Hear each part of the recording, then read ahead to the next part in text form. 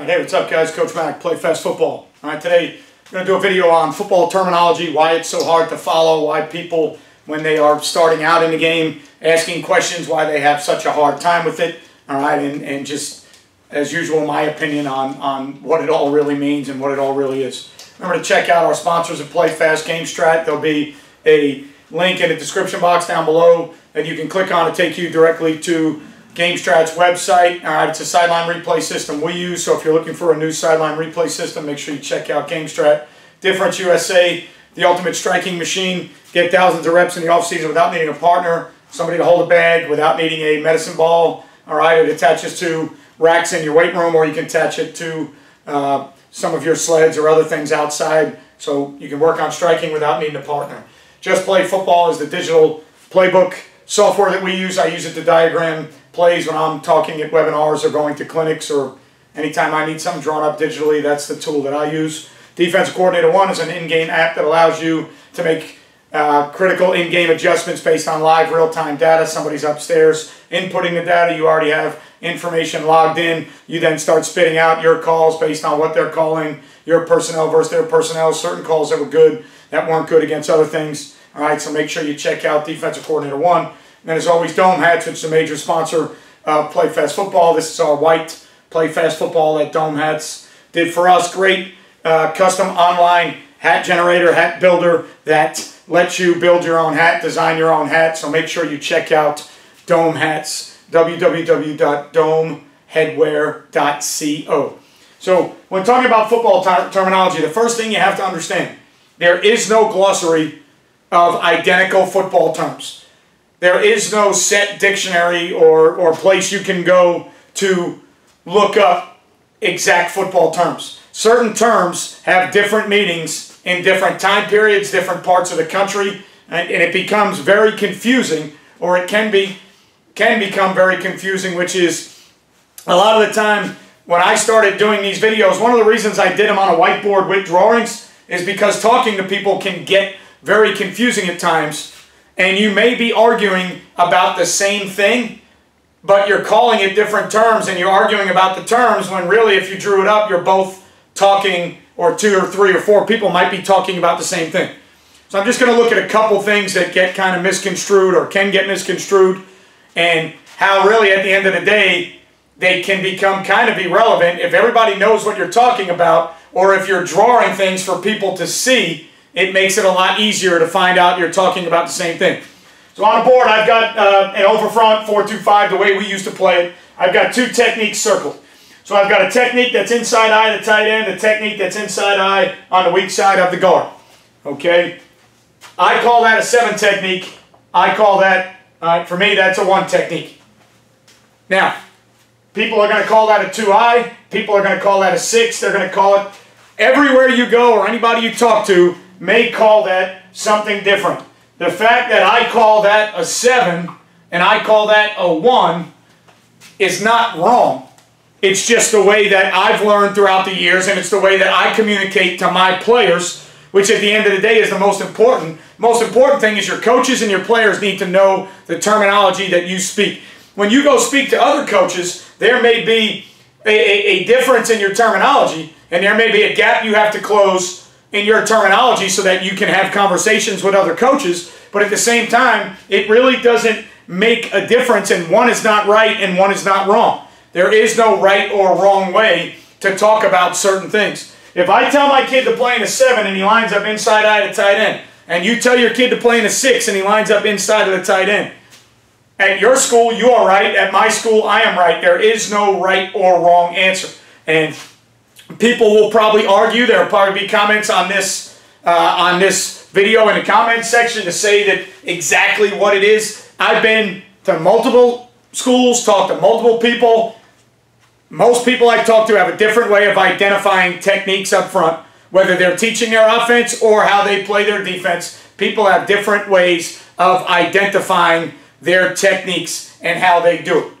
Okay, so one of the things that I do that I try to make as easy as possible is anything that's set up for me is an even technique. So anything that's set up for me is a 2, a 4, or a 6. That's just the way that, that I do things. Anything that's odd for me is a shade. So a 1, a 3, a 4i, which then I have to term and tell people that 4i is an odd term because of the i, even though it's an even number. And again, that's how I explain it to my kids. So then I go 1, 3, 4i, 5, 7, 9. And then I go 2, 4, 6 from the guard to the tight end. Head up on the center is a 0. Okay, again, not debating with anybody in math if 0 is an even odd number. Don't even know if I know the right answer. It's been so long since I've been in the classroom and I really don't care. Head up on the center is a 0. Anything shaded on the center for me is an A shade, strong A shade, or a weak A shade. That's just the way I do it. That does not make it right. That's just the way I teach it. So when I teach it to people, if you're going to be in my system, or if you're going to learn or need to know what the techniques are, once I teach you those, you know how to put those kids in those techniques. If I get a new coach in my program and tell him to put a kid in a 2, all right, or a 2i, or a 1, or a 3, or he might put him somewhere different based on what he knows. That doesn't make it wrong.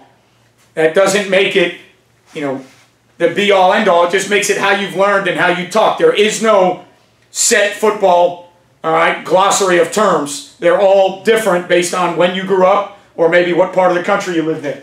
Okay?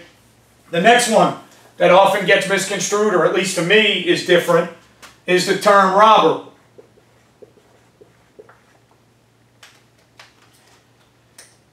This is how we would play robber.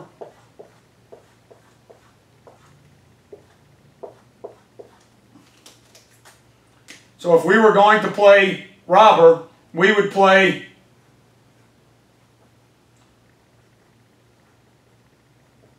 robber like this.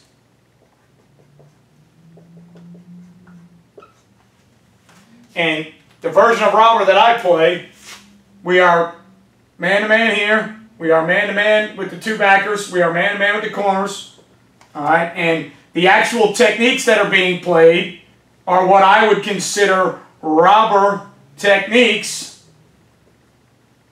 Flat-footed reads, extra in the run game, very aggressive in the run game. But for us, when we play the defense, this is going to end up in a low hole, high hole situation for us.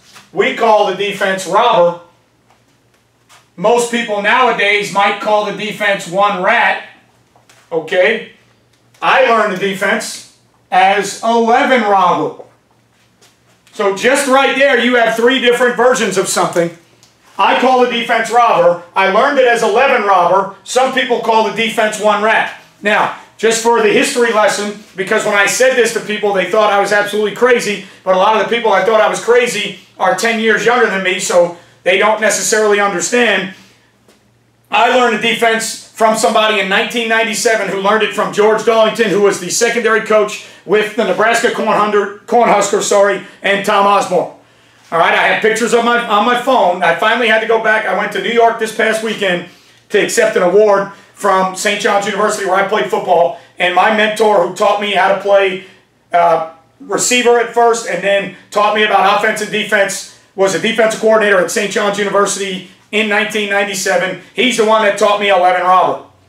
And, and, and, he, and he then, when I went home this past week, I said, do you have any pictures from your notes from the clinic where George Darlington and University of Nebraska taught you 11 robber? And he said, yeah, I can find them. He finally found them and he sent me the pictures from the clinic so I could send pictures to other people with it saying 11 robber because nobody necessarily, not that they didn't believe me, but they've never heard it before. So that's where I got 11 robber for, from. They called it 11 robber because they loved it against 11 personnel. If you went to, in the, in the 90s with Mickey Andrews, if you went there, he called it jet robber. And that was one of their base defenses. They called the front jet, they called it coverage robber. He called it jet robber. Well, then, if you got into Bud Foster, or later on, you know, he wasn't the only one, but a lot of teams started playing eight-man front robber.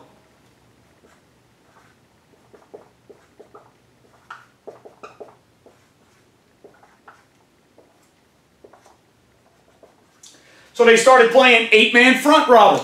And they were playing with kind of corners that were crazy half players, and they were playing eight-man fronts with the free safety as a robber player off of, usually back then when this was around or prevalent, it was more of a uh, 21 personnel type deal. And to pro I, it would be free safety playing a robber technique off of the tight end. He had the tight end vertical. If the tight end blocked, he added himself, okay, into, into the equation to get a ninth hat somewhere in the box. All right, and then if the tight end went under or out, he would then rob. He could rob posted curl of one. Later on, he got to a point where he could rob or maybe steal a shallow or something coming from the backside. But that coverage was called robber. Okay? This was Virginia Tech's version of robber coverage. I then later on start to hear people talk about playing robber on one half of the field and describing it to me the exact same way, essentially, that I learned how to play quarters defense. And then when I would talk quarters defense to people, they would say, no, that means a corner playing a quarter and a safety playing a quarter. And I said, no, that's not necessarily accurate or correct. It's not the way I learned quarters defense. So what, what has to happen is you got to get to a point where you can talk things through and draw them out with how you do it. Because if you ask me robber defense, I'm going to tell you how we play R11 robber defense, which other people are going to tell you it's one rat. Florida State people would tell you it's jet robber. But yet if I say robber, and I don't explain to you how we play robber, you're going to think either this version of robber, all right, or maybe a half the field version of robber with a two removed, where, you know, maybe you get a two removed out here, and now maybe teams are playing it with a nickel that's outside, free safety here in a corner, and they're playing a version of what they call robber that is very similar by rule to what I would call quarters. So, either way, none of it's wrong. None of it's because there is nothing in football that sits you down and says, robber coverage is this, ABC. There is no test on that. There is no, you know, to be a head coach or a coordinator, there's no certification course that you have to pass that has a, you know, a vocabulary section that you have to get 100% right. Okay? They, they, it's nowhere in, in any of, of the classes that you might have to take to be a coach the more terminology you learn and the more, the more you're able to have conversations with people to say, all right, what are you talking about? Are you talking about eight-man front robber? Are you talking about more of a, you know, a, a robber half-field coverage? Are you talking about carrying two to the flat? Are you talking about playing man-on-one? So you may have to get more involved in the conversation, or the easiest way is when you draw something. All right, draw it up, and now we can talk because now I know exactly what you're talking about. Okay? I'll give you another one. Okay, here's another one. Flood. Okay? Flood.